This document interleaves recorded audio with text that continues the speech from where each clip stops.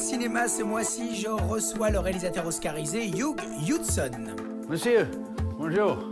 Welcome. Avec Ridley Scott ou Alan Parker, Hudson fait partie de ces réalisateurs anglais qui ont durablement marqué le cinéma, et ce dès la fin des années 70. Formés à la pub dont ils bouleversent les codes, ils imposent alors une toute nouvelle esthétique au 7e art. Les chariots de feu est le film qui révèle Hugh Hudson, un succès immédiat et qui doit aussi beaucoup à l'utilisation de la musique de Vangelis, un pari osé à l'époque. Devenu du jour au lendemain incontournable pour Hollywood, il connaîtra pourtant une spectaculaire descente aux enfers avec son troisième long métrage, Révolution. Comment s'est-il retrouvé dans cette situation malgré le soutien indéfectible de sa star, Al Pacino, et comment a-t-il rebondi après cet échec retentissant? Allez hop, home cinéma, c'est parti Euh, Monsieur Hudson, euh, euh, ben, je suis bien bien content de vous recevoir dans cette, dans cette émission. Vous êtes le réalisateur de Chariot, euh, Chariot of Fire, Angry Stoke. Vous êtes principalement connu pour ces deux grands films. Et euh, je voulais savoir, en fond, euh, comment vous êtes venu au cinéma? Um, when I was uh, nine, neuf ans, um, in England, and uh, this is uh, just after the war, 1945, 46, the government said to parents, any, any child over, uh, over 10 should be taken to see to the cinema, local cinema, where they were showing the footage from Belsen and Dachau, taken by the British Army when they relieved the camps Yes. to show why the, we, we were fought the war. And everybody should see this, including children, because they will remember and will never forget it. And it was such an impact on me to see these images, to see what cinema could do, if you like, what filming would do, and the horror of it. I was very marked by it. And then afterwards, I went to boarding school to um, Pensionnaire uh, near London, and I started to go to the cinema. And mainly it was American films and a few British films. Um, and I thought this was a fantastic thing to do. So the, the combination of these two things, um, the first film I see in my life, which is at the age of nine, and then all this stuff wanted me to go into cinema. cinema. Uh, at the 58, I came out of the army, and uh, I tried to go into, into, into a cinema company, and nobody wanted me. Why They didn't. They don't. They were very nepotistic. Too young or- No, too nepotistic in England. To try, tried all the studios, Rank, Associated British, and then American companies had, off, uh, had, had companies in London. MGM had. I tried all of the studios. Um, no, they weren't interested. Maybe because I came from a, a different class. I came from an upper class. So maybe that was the reason, because on the whole, people who went into films in, as stagiaires were um, were from the same class, and usually uh, sons or nephews of people who already. That's how it was. So at that time, television advertising was beginning, and I went into an advertising agency. I didn't like that at all. I was there for six months, and I decided to go to Paris. You lived there for a while, no I lived in Paris for three, four years. I worked with in a, a documentary film company in, uh, in the editing department. First of all, in negative, in the negative, in the, in the laboratories at Eclair, and learning how to about film really, how film was processed, what, etc., etc. When when I left Paris, left the editing, I then came back to London and started my my company as a producer. As a producer of what? Of, Of, TV uh, documentary. Documentary. Yeah. That's what you made. You made uh, Fangio. No, I made two or three films before Fangio. I wasn't really interested in motor racing, but Fangio was an extraordinary man, wonderful man. I got to know him, and then we made a film. It took me a year to make the film, all over the world. What brings you to Chariot of Fire? Because uh, uh, what brings you there? The, the, what came to me first, I knew the producer very well because I worked with Alan Parker. Who, Yeah. Now I got to That's know by now. I know Alan Parker, Ridley Scott, Of course. uh, Tony Scott, Yes. uh, Adrian Lyne, and myself. Were five of us. Alan Parker, euh, Ridley Scott et et Tony Scott, qui, qui est mort il y a quelques années malheureusement, c'est tout un groupe tout un groupe We de. were called the Famous Five. Yes, that's a, that's a very famous English director And from we the were a hand, a hand of change. About uh, Chariot of Fire, uh, so you, you had that script, you received that script, and you say, okay, I'm going to do No, that I movie. didn't receive the script. I received 25 pages Oh. of the idea.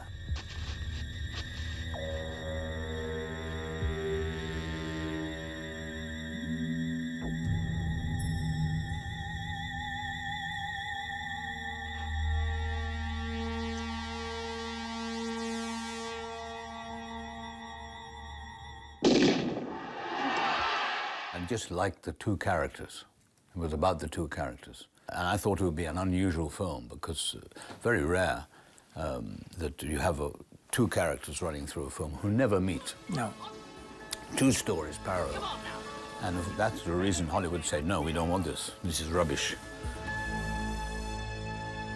You know, it's a beautiful story, a beautiful story of faith and belief, standing up for your beliefs against all, all the forces that try to stop you.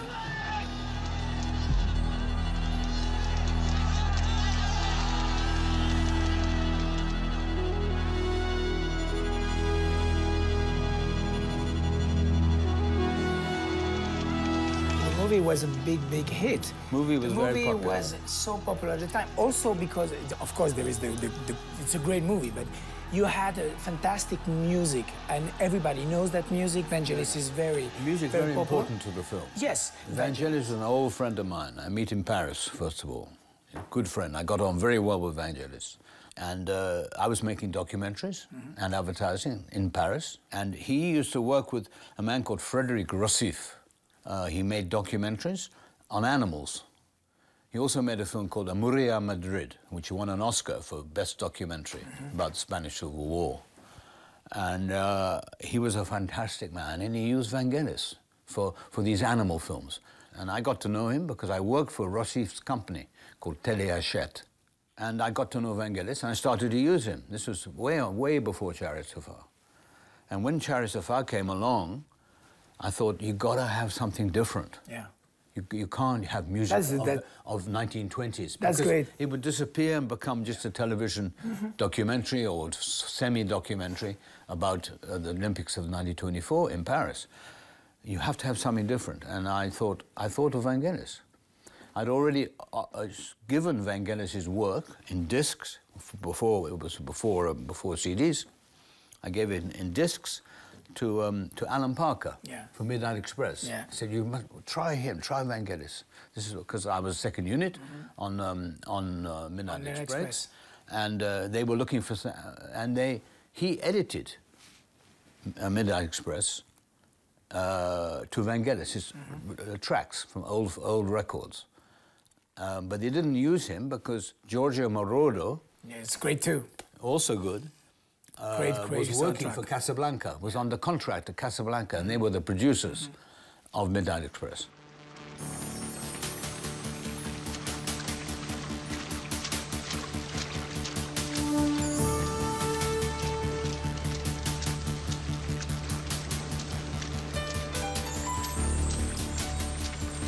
Been massive, no? When when the movie gets out. Yeah, it was massive. Although, of course, the record, uh, the, the theme tune became number one in America and everywhere. Played in elevators everywhere. You know, every shop was playing it at the time of the film coming out. The film was very well timed. Four Oscars, no? Four Oscars, yeah. Yeah. Best film. Not bad, no? Not best director, though. Best Yeah, well, you know. Warren Beatty won the best For, director. for which which one? For Reds. Oh yeah, well.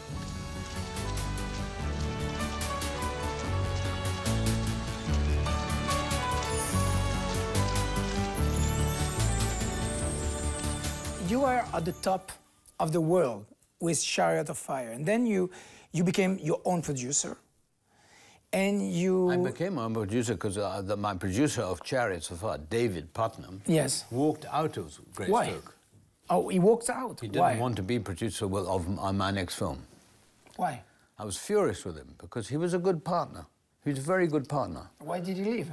because I had too much power by then. Because Hollywood talked to me, the studio, Warner Brothers.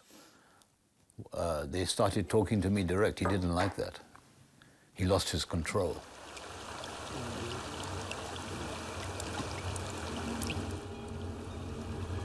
East, Ghana,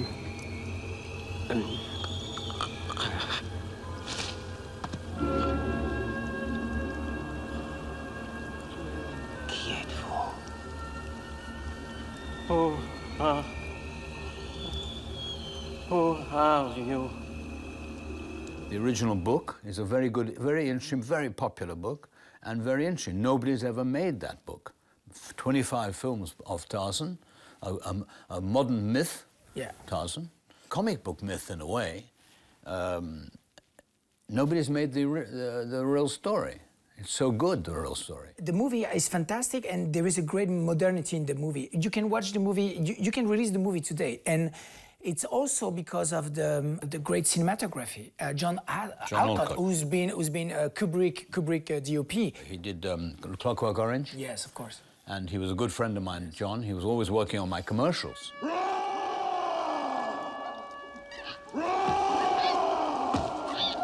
Why, why brings you to Christophe Lambert? Because I, I'm sure at that time you have the, you have the possibility for any actor of the world. Oh, you know, we had. Uh, I, what happened was quite interesting because that was the fight with Warner Brothers. Why are you using this strange Frenchman? Why? Well, he's Swiss actually, but uh, you know Yeah, why? Why? Because of, his, of his eyes? his eyes were very interesting because he's myope, Mm-hmm. and so he, when his eyes off, he can't really see you. He looks beyond. He looks beyond you. Just like James Dean?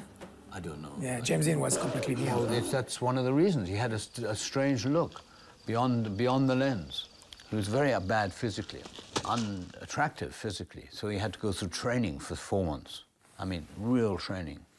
We had to, we had to, forbade him to go to Paris because he lived in Paris, because he would go at weekends, start eating and fucking and that kind of thing. We, we stopped him going in the end. I said, if you go again to Paris, you can go once a month, but not every weekend. Because if you go, if you keep going, you're out. We'll get somebody else because you're, you're, not, you're not delivering what we need. We need proper body, like Johnny Weissmuller, who had a beautiful body.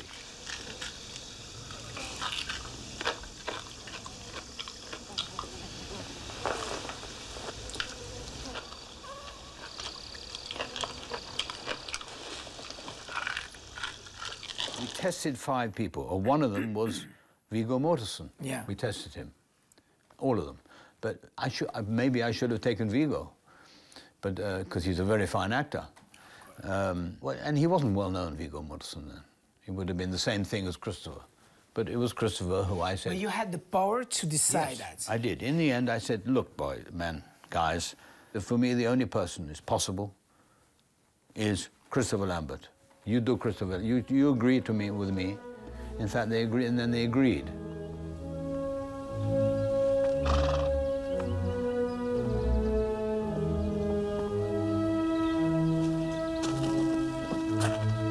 They were spending $30 million. That's a lot. 30.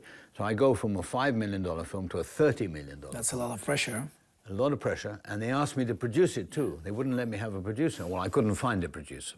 That was tough to have to do that and direct this epic film with apes, you know, 30 apes. Yeah, there is no CGI at the time. No, not one footage. Yeah. There, are- there are a few shots of, of at the beginning by Albert Whitlock, who was who used to do all the all the, the matte paintings for for Hitchcock. That, that's the only f- trick in the film. The rest is all real. That's what's so interesting, and that's why it's good. I think if you look at the Tarzan today, the most recent Tarzan, uh, where every single ape is CGI all the furs and all that. We made the furs. We had a factory building skins. Every skin of every ape is sewn by hand. So, hairs. So they're real. It's amazing work. They were. And it was amazing. Rick Baker was a master, a master. Still is. He still is a master. He really is. He, Greystoke's success is due to him, really. Like Van, v, Chariots of Fire is due to Vangelis. That's the technician.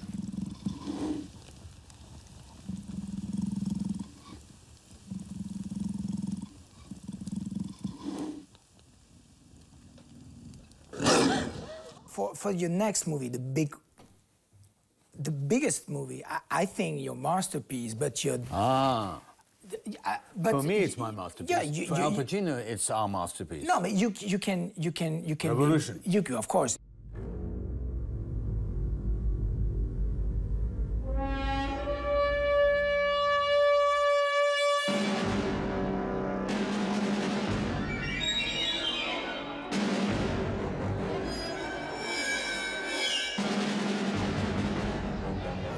Revolution was out of time. It was Ronald Reagan's era. Yeah.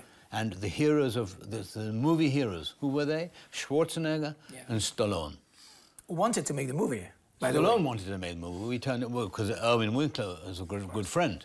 Obviously, he rang up Irwin Winkler, and I said, "No, not Stallone. We don't want that. We want somebody who's a who's a gutsy from man from the from the streets. We wanted Al Pacino. So I went over to America and met Al Pacino. Spent three weeks with him, trying to persuade him to do it. In the end, I persuaded him. He was at the height of his career. He was a, I got on very well with him immediately, immediately, because he's completely the opposite to me. You know, it comes from very poor background. I came from a pretty rich background, if you like, well educated. He's completely the reverse, but we got on like beautifully. He's still a very old, good friend of mine. Yeah, here's your five bob back. It was a mistake here. Where do you think you're going, mister? Step back here at once! What do you think you're doing? I was in the commissary. I come out, I found out he joined. See? That's right. But it's a mistake. He ain't joined. Is this a mistake, See, Corporal got the five Stacer? bob back. I recognize the boy. Show him the roll book. Top of the list. I know his name. I'm his pa. I told you he ain't joined. Yes, No. he has. No, he ain't had my permission. Makes no Inside. difference. He received the five shillings and he signed his name. Right yeah, here. well, you just cross his name off with that quill there, see? Then it never happened. Come on. Detain that man! Hold him there! Revolution, every single shot is camera à. Not that I'm the first person to use camera à main. Yeah, just like Paul Greengrass uh, uh, today, you know. Well, yeah, like everybody today using handheld. Uh, I'm not saying I'm the first person to use handheld. No, ever. no. I, I think I think Even you, Griffiths used handheld. Yes, but in a in a in a very huge production like that, because of course the Nouvelle Vague did, you know, with very of course, of course. Uh, small movie, but in a big big context like that, historical movie, I wanted classical, to do it like that because it's about a man from the gutter. just like a documentary. Yeah. Like a documentary, he's a man from the street Yeah. who didn't want to be part of the war, didn't want anything to do with politics. But because his son is taken by the, by the, by the army to, be, to enlisted, he has to go.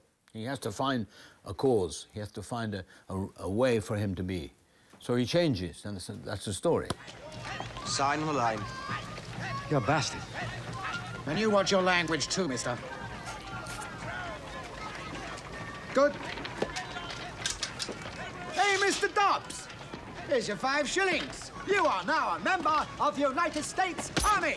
There is something I've read about it, and I would love to know if it's true. It's the competition with Mission.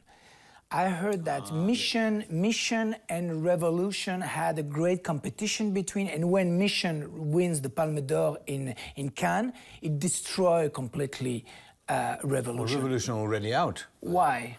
because I believe, I believe the problem was David Puttnam, the producer of Chariots of Fire. He produced the mission, one of them. Oh, so you think there is a kind of a revenge or something? Destroy, Something, something. destroying your career? Sacrifice a revolution. We don't want revolution to be successful. This is in David Puttnam's head. The problem was Irwin Winkler, the producer of Revolution, didn't stand up for the film. He didn't care. He was making Rocky f- 8 and other films, and he was having problems because I was going over budget. Mission was going over budget as well. Mission by Roland Joffé. Huh? to just- Roland Joffé, yeah. It's a good film. Yeah, it is. With, with, it's, it's strange that we have Pacino and Robert, Yeah, yeah. Robert we were fighting each other. And I believe that Puttnam allowed it to sacrifice. He was on the board of directors of Goldcrest. He was one of the partners of Goldcrest. So he was manipulating the situation to allow not to have mission go out first, to get, get revolution out. Oh, if it's successful, great, good for the company. But if it's, it wasn't finished film. It was unfinished. That's insane. Well, of course. Well, film which only began shooting in April of the same year, a film of that size began shooting in April with terrible weather, terrible problems. Well, that happens in every film. However, from April, May, June, we were still shooting in May and June, and we had to bring it out within four months, five months. Not possible.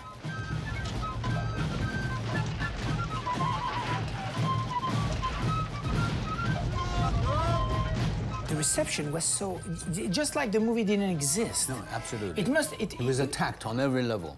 Pacino didn't work for four years Yeah. because of it. He was at the height of his career. He was a f he had only just finished Godfather 2. He was at the height. And he was a wonderful man. I got on very well with Pacino. And we had a good film in the making. And it was badly handled. There was a great scene with him, you know. The, the, the Scene with the kid? The kid is fantastic. It's, there is some some uh, astonishing scene. So If it had been handled properly and not brought out so fast, finished properly, it would have been ready for Cannes. They would have loved it in Cannes, that film. They would have loved it. I would I love never, to. I never told the story about the producers. No, but that's great. You can put it on. I don't care anymore. You know, why would I care?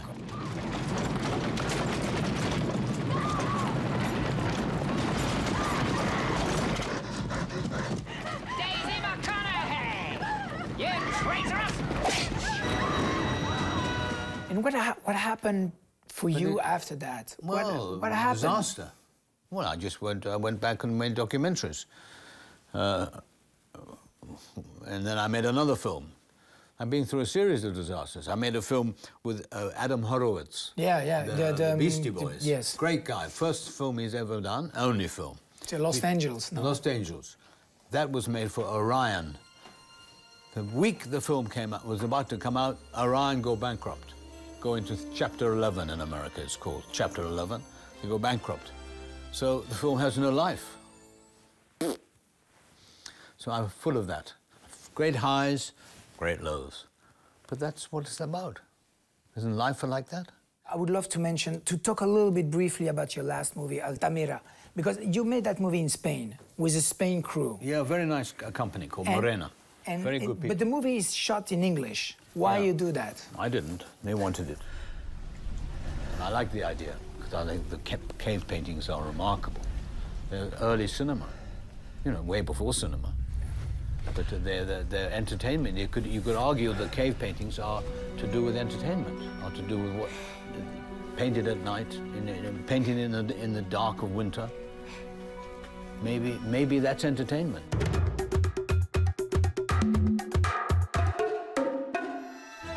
Si quelqu'un s'y connaît dans la région en chambre à air, dérailleur, c'est bien moi. Raoul Taburin. Bonne journée, Raoul Ma réputation est telle qu'on ne dit plus un vélo, mais un taburin. Et pourtant, je n'ai jamais su monter à vélo. Et mon drame, c'est que jamais personne ne m'a cru. Non, non, bou- bougez pas. Je m'appelle Hervé Figougne, euh, je suis photographe. Notre complicité fut immédiate. Vous ne savez pas faire de vélo? Nous étions comme deux vieux amis d'enfance. À l'affiche ce mois-ci, adapté de la bande dessinée de Sampé, le dessinateur du petit Nicolas, Raoul Taburin, c'est l'histoire d'un petit garçon devenu grand sans savoir faire du vélo, d'une belle amitié mais aussi d'une tendre imposture. Coproduit par BTV et réalisé par Pierre Godot, cette comédie réunit à l'écran Benoît Poulvorde et Édouard Baird.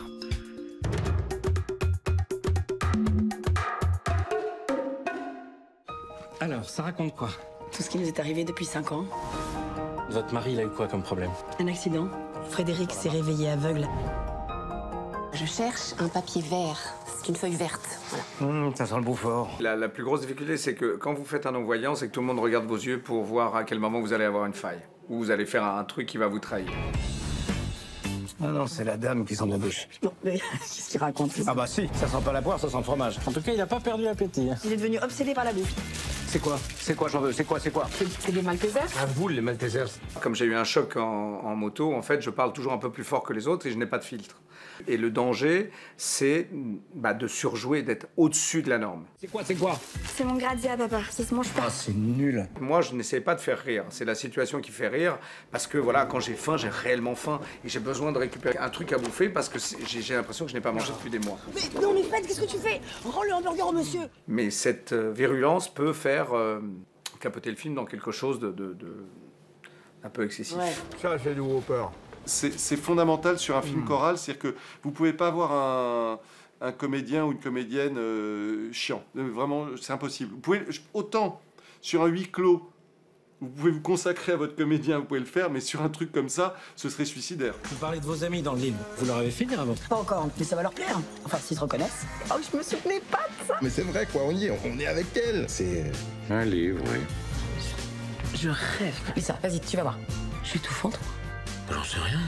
T'en sais rien Mais, euh, Fabrice, ça fait 20 ans qu'on vit ensemble. T'as bien une petite idée, non?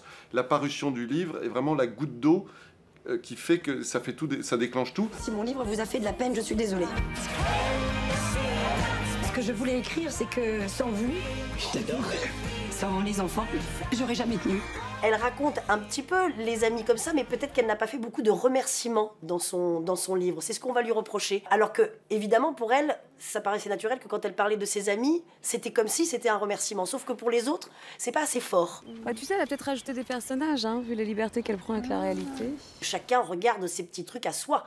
C'est euh, c'est presque un peu mesquin, comme c'est écrit. C'est un, peu, c'est un peu plus dur à avaler.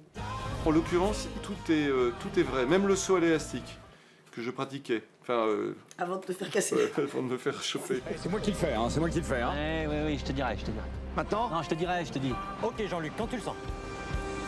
Maintenant Non, non, attends, attends, attends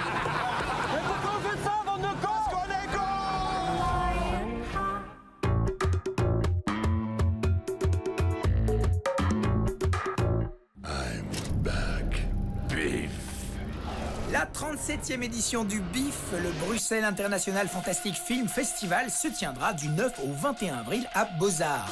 Cette année encore, près d'une centaine de films de genre seront projetés, dont une trentaine en avant-première. Entre les productions internationales comme le nouveau Nell Jordan Greta avec Isabelle Huppert, on trouvera pas moins de 9 longs métrages belges ou coproduits par la Belgique. Côté ambiance, le 13 avril au soir, les candidats à la première Zombie Run s'élanceront dans une course à travers un Bruxelles apocalyptique en espérant échapper aux zombies affamés.